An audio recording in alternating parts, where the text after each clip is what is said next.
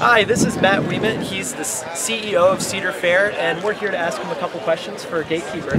So, you're going on to your second year at Cedar Fair, and how has the transition been getting settled into Cedar Fair? Well, you know, fortunately, I inherited uh, a set of great parks, so 11 great parks around the country, uh, and I inherited, more importantly, a great leadership team. So settling in wasn't all that hard.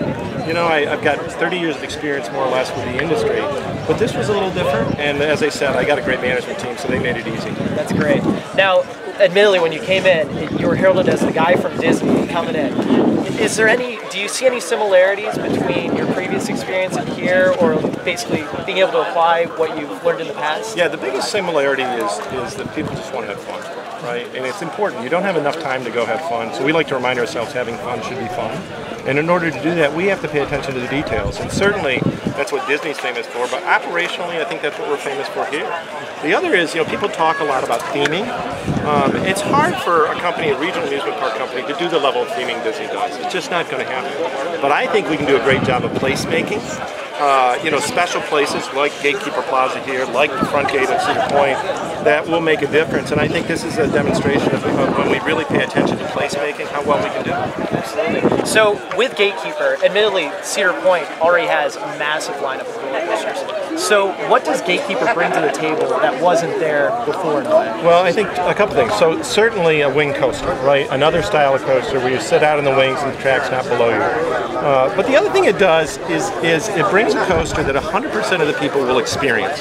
And as I've said before, the vast majority will choose to ride, but if you don't, you can't miss it, right? You've got to walk underneath it to come into Cedar Point. So I think that's part of the charm of, of Gatekeeper. Yeah. And I guess going further with that, uh, if this were to be a success, would you see this as something that could be replicated to other amusement parks? You know, yeah, clearly that's the case. We're very uh, focused on what the next asset is for each of our parks, what the new ride and attraction is. Uh, I don't have a wing coaster for anywhere else on the on the menu right now.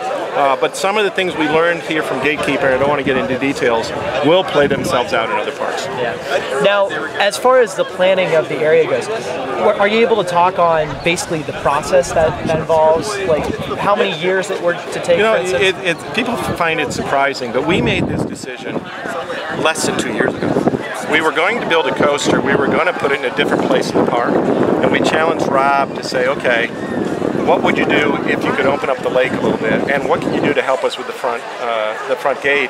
And I think they took that challenge and gave us a miraculous answer. And uh, so it, it, surprises people. But but if, working as closely as we do with B&M, we can do that because we can do sketches on a napkin, go work with them, and in a week or two have animation to decide whether we like the ride or not.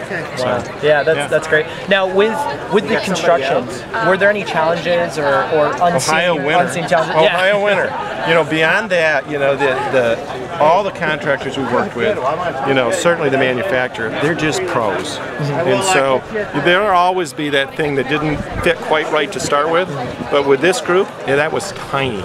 So uh, no, it's just the Ohio winter and a little bit of rain here in the spring. Yeah, definitely. So. Now with Windseeker right across the way, obviously it's had some maintenance shortfalls or, or basically tough uh, operations. How is that set for this coming yeah, season? I think that the reality is Windseeker is not a problem at all. I think it got overstated, uh, and and it wasn't a maintenance issue. It was just we're hundred percent safe on all our rides and attractions, but I want to be 110 percent. And so we had a ride stuck up in California for a little bit longer than we'd like. It was an anomaly, uh, but we wanted to make sure that didn't happen again. And so we made some modifications. Windseeker will be up and running, I guess, tomorrow opening day or Saturday opening day, and it's up everywhere except for California right now. Now, and, and also, I guess, just the surrounding area, what changes happened to, obviously, there's going to be a little bit more crowd coming this way. Yeah. So, were there any other big changes for this meeting? You know, I wouldn't say big, I would say logical. So, we've redone the food and beverage stations over here. Uh, we have a new partnership with Coke. Uh, so, you know, there's a Coca-Cola station over here that you can get like 182 flavors or whatever it is. Yeah. uh, and all that stuff is just positive. So, great, great. Well, thank right? you so much. Thank you. See ya. Yes, thank you very much for Pleasure. your time.